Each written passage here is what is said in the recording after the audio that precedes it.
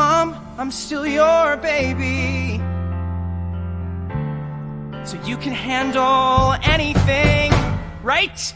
I'm a little bit scared, a little bit lonely, a little bit empty every day. I'm stuck in the city, my sleep pattern's shitty. It's kinda hard to explain. I've only found lately, though, that I've had this hard time finding my own way. I'm a little bit lost, a little bit found. I'm a little bit, hey,